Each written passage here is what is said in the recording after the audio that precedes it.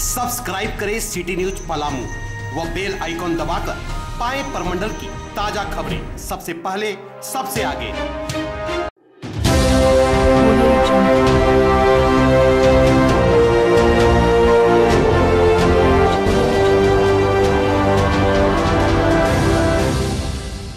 पलामू ज़िले के नौडिहा प्रखंड के खैरादोहर पंचायत निवासी भगवती सिंह व उनके परिवार सदस्यों के लिए मंगलवार की रात बेहद ही मनहूस रही। गरीब परिवार के महीनों की मेहनत से पैदा हुई। करीब डेढ़ बोझा धान को किसी अज्ञात व्यक्ति दुश्मनी में बीती रात जलाकर खाक कर दिया। भगवती सिंह पिता गजन सिंह के परिवार में सात बेटियाँ व दो बेटे व माता पिता हैं।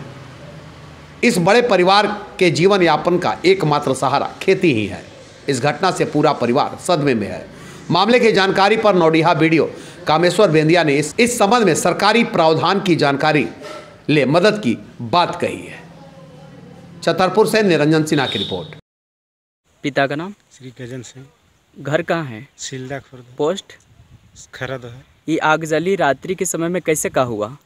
ये रात को मतलब बोझा सौ बोझा मतलब डेढ़ सौ बोझा धान के बोझा रखल था। जी। और हम लोग घर पर सो गए। जी। और सुबह आन के भोर में देखे तो यहाँ धुआँ धुआँ करके जल रहा था। सभी तो धान जल गया? सभी धान जल गया। और कम से कम कितना बोझा था? बोझा था डेढ़ सौ बोझा था। डेढ़ सौ बोझा था। आप घर कितना दूर है? ये खरिहान कितना दूर था? खन घर से डेढ़ किलोमीटर दूर है। दूर था खरिहान। हाँ। और आपको किसी को पता नहीं चला? नहीं चला। जब सुबह हुआ तो क्या देखे यहाँ? यहाँ देखे कि धू धू करके जल रहा है खरियान पर धान तो कुछ बिताए भी? हाँ कुछ थोड़ा मोड़ा बिताए बाकी टोटल जल गया रात भर जला थे।